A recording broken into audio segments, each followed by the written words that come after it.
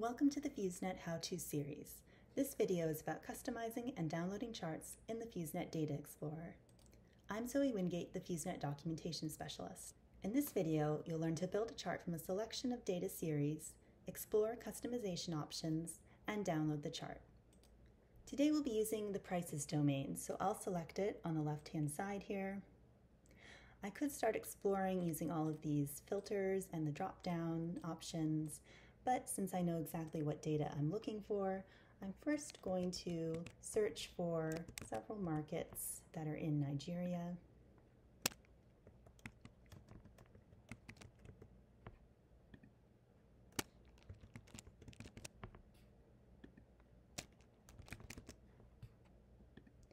And I'm going to search for a particular product,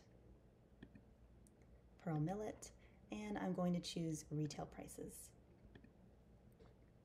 Now I can see all of my filters and all of my search results. I'm going to go ahead and select all four of these. So now I can scroll down and take a look at my chart. The first thing I'm going to do is come over to the Customize sidebar to the right, and I'm interested in adjusting the currency from USD to the Nigerian Naira. Now that I've done that, I'm going to look at the zoom options. So we can look at the past three months, year, three years, and five years. I'm ultimately interested in looking at the last year, so I'm going to select that.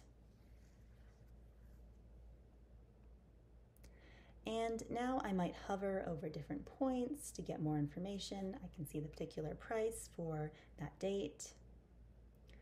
I can also come down to the legend and isolate each line by hovering over it.